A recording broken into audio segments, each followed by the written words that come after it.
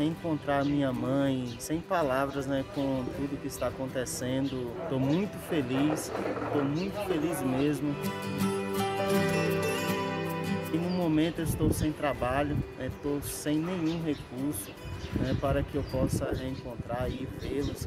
É, feliz Dia das Mães, viu? E se Deus quiser, mãe, nós vamos passar muitos dias juntos, viu? Especialmente nessa data.